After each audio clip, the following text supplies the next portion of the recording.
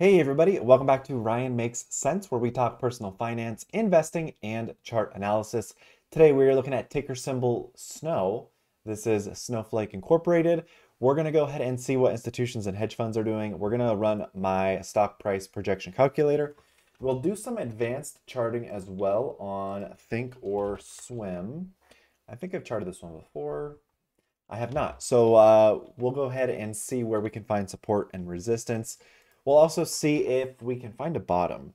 Uh, just high level context. I I have reviewed Snowflake before, uh, potentially on this channel or for uh, someone else as a request.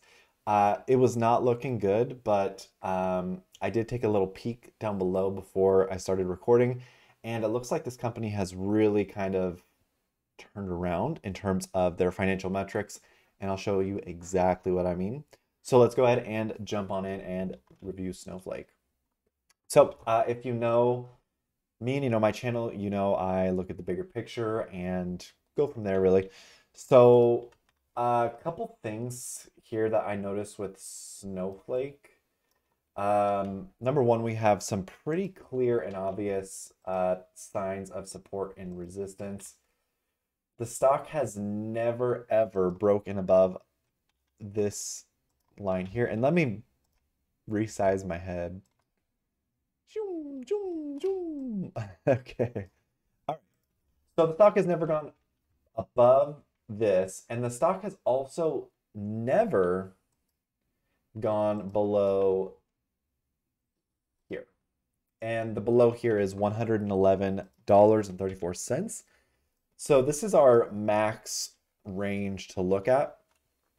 Uh, so now what we do again, we're going to refine a little bit more with our charting. Uh, great. Let's bring this all the way down. That's good right there. So uh, what I did, I went to the all the highest point in time, which let me see if I can get, okay. So right there, the highest point in time, you can see perfect resistance with this green candle here. You guys can see that, right? Uh, then the next month, the candle went up and retested this line. Perfect support, perfect support, fell through, test this resistance. Uh, then you can see right here, this candle broke through. This is where, if you look at this candle right here, this month volume, you can see traders really thought this was going to be the breakout, the start of a breakout. So we have this big candle, another green candle, a doji candle, kind of an indecisiveness. Goes, peaks up to 236 and now is trading at 119. Um, and let's just do a little bit more charting because this is going to help us. Okay. So I just drew this uh, downward sloping line. Essentially, we have perfect support, perfect support, perfect support. Uh, if the stock continue to falls, maybe it gets to $25. I highly doubt it. Um, but again, just kind of keeping supports and resistances where possible. Uh, again, just going to kind of refine here.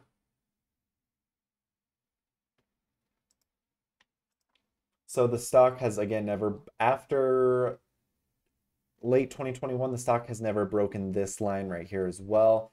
So it's kind of building pressure. It's getting in tighter and tighter confines. And you can see this area right here is our area of opportunity where we have our support this line right here, and then our resistance, this slope line right here, where the stock is going to have to make a decision to move up or down. Um, I'm just trying to find potential, again, supports and resistances that we can look at as uh, viable. So um, some basic charting there for the advanced chart. We'll look at Fibonacci arcs. That will give us a better picture of um, potentially finding the bottom. But for now, some technicals. We do have the strength at a 36, which is with the bears. This MACD momentum is looks like it's going to go down. So I think Snowflake is actually going to go from 119 to possibly lower. The money flow, uh, you can see it was trending all-time high, dip, all-time high, dip, question mark, all-time high question mark. I don't know. Uh, relative momentum indicator, kind of getting ready to go to the bottom of the ocean again. Um, institutions own 59%. That is older data. New data, we'll take a peek after I run my calculation to see if uh, institutions are buying or selling. Uh, just really quickly, the sales here are immaculate. This is a huge, huge improvement for the company. However, the earnings per share does continue to go down. Uh, you can see the loss is narrowing. So it went from negative 2.26 to negative 2.25. That's a difference of negative 0.24.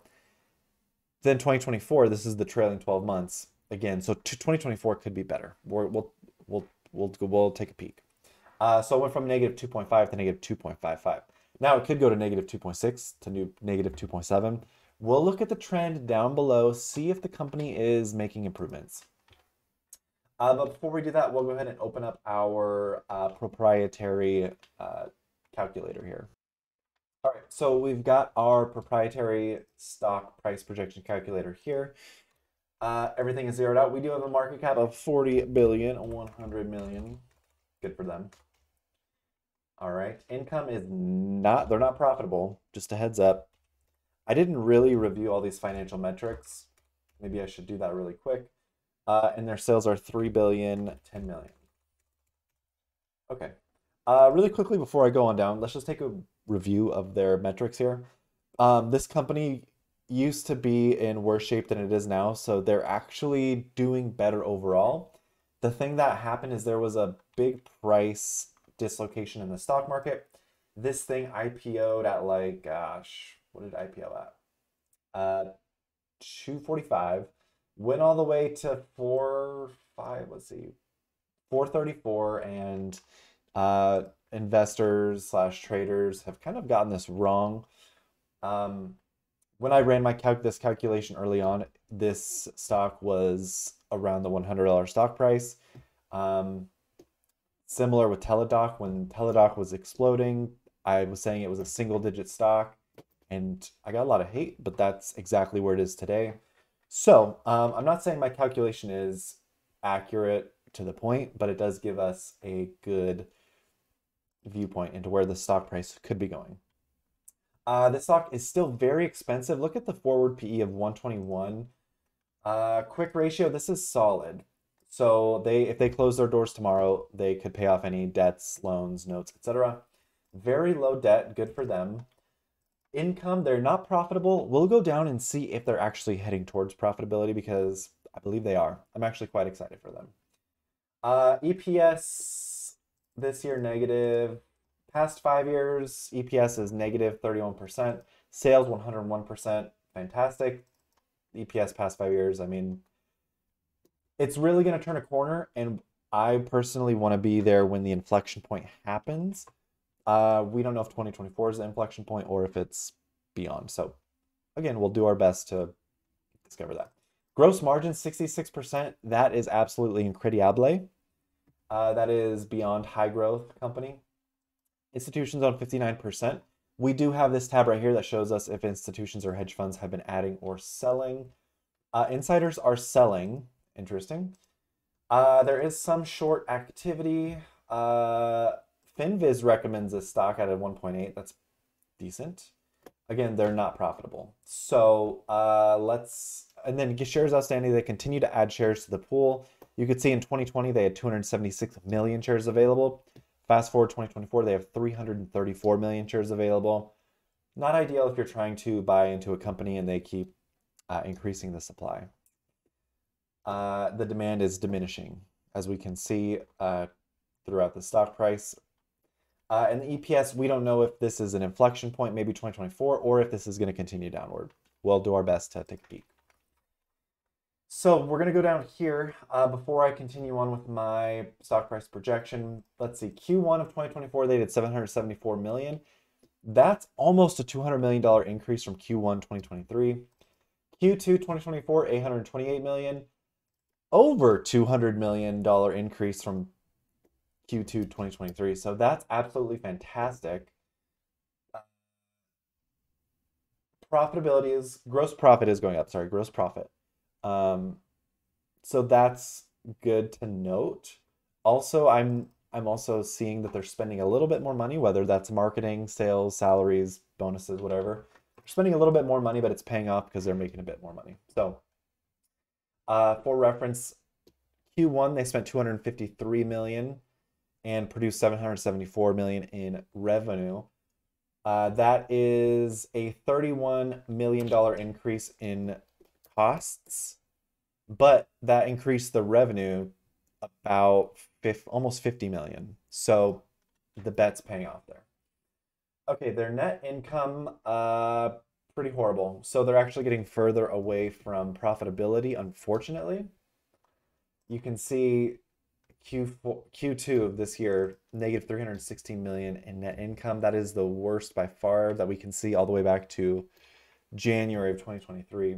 That's a bummer. Uh, EPS what did we have up here? I'm to go quick scroll. I'm sorry. It was 2, 5, negative 2.55. I mean, it doesn't look like it's getting any better. Let's see. Q1, it was negative 0.63. This year's negative 0.65. Or I'm sorry, I was looking at the wrong one. Sorry. Uh, negative. Okay, so it was they they they did better, but for Q1 of this year, but Q2 of this year they did worse. Uh, so yeah, uh, EPS still looks like it's not at an inflection point. So for me personally, I'm gonna pop, I'm gonna hit the brakes and see what 2024 has in store. Wow. Okay. Uh. Wow. Wow. 57 million shares were just, or I'm sorry, 469,000 shares added to the, all these sales, the shares are just going back into the pool. The director purchased them at 131 for $9 million. God, this person sold for 57 million. Uh, the CEO, please don't tell me you're swing trading your stock. I don't see it. That's good.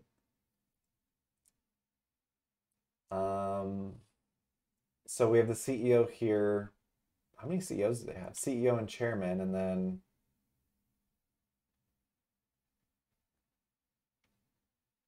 I could have swore I literally saw a CEO that was not right. How many CEOs do they have? Co-founder, CFO, CRO. C. Ramaswamy is now the CEO and director. So did they get rid of the old CEO? That's what I'm presuming. Um, jeez. Yeah, so no real red flags here, but honestly, if this company is really a huge bargain, we would see a lot of buys here, in my opinion. So, uh, just that kind of furthers my uh, putting on the brakes a little bit. So total assets 7.2 billion, liabilities 2.7. So assets dwarf liabilities 3 to 1. No, 2 to 1. More than 2 to 1. So that's fantastic. Uh almost 3 to 1. Uh, let's pull up my handy dandy calculator here. Stop. There we go. I'm going to throw my wireless mouse out of so cash, they have 3,531,350,000. Good for them. Debt, not that much, 247,500,000. Okay. Uh, other items I just want to note here. Debt is going down. They're doing a good job of paying down the debt overall since Q3 of last year to current. Um, liabilities going down. Well, let's see. 2.2, 7.7, 7.4.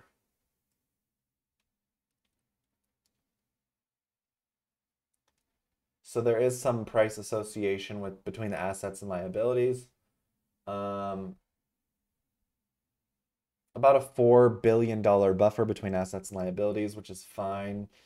Once liabilities overtake assets, that's when we get a little bit concerned, but uh, at the moment, not really.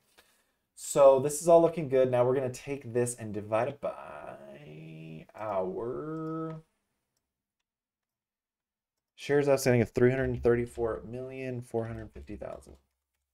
That gives us a stock potential stock price of 135 and right now it's at 119.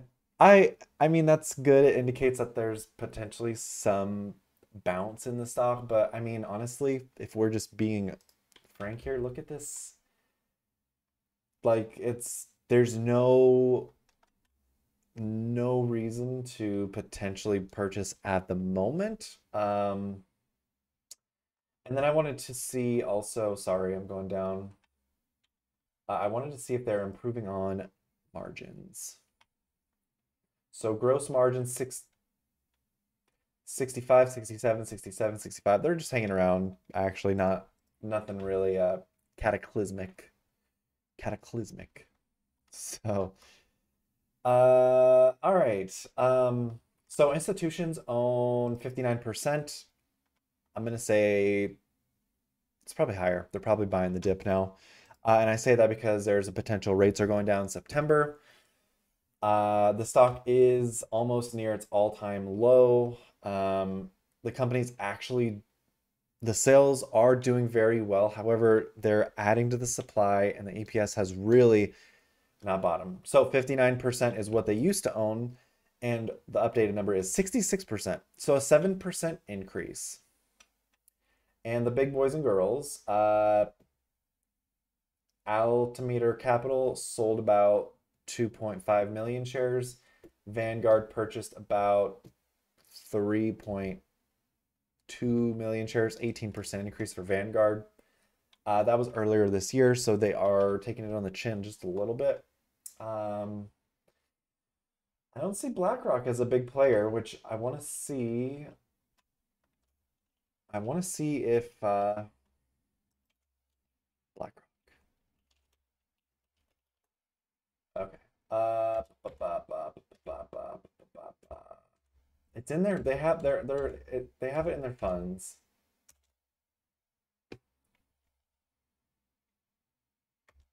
Here we go. So BlackRock owns 16 million shares as of May this year. So they are a big owner. Um, I can't tell right here. What's this column? Let's see. So it looks like they increased their position, but they're... Come on, baby. Come on, baby. Come on, baby. Oh my gosh. Okay, so the yeah, they increased their position, but the value went down because stock's been down. Okay, so uh, overall, Snowflake so far, um, I'm on the sidelines, but it's pretty darn close to all-time lows. This is going to let us know if we've hit all-time low, 429 to 110.27. Pretty dang close. Uh, okay. I think, you know what? Actually, I just realized something. So when the stock leaves a Fibonacci arc here, like right here, um, typically one of two things happens. Uh, one, it is ready to make a move, which I don't think this is really, uh, or two, it's really ready to just kind of fall. Um, but looking here, what we can see, look at this perfect support, almost perfect resistance, perfect resistance. Look at this candle right here, kisses the top and the bottom. Perfect, not perfect resistance, but it tests it. This is perfect support, almost perfect resistance. Tests, tests it here, like almost to the T resistance, perfect resistance on the inner candle, and it touches this inner candle here. I mean, this candle right here, a gold medal, because, I mean, it touches the outer, the middle, and the inner ring. And then we see over here, perfect resistance, candle kiss, perfect uh, candle close resistance, perfect support, um, almost test, almost test right here. And we can see this last candle right, it closed right here. So now what we can do is see, um, I mean, this thing isn't, I don't think it's ready for a bottom, but we'll see right here, 110.27.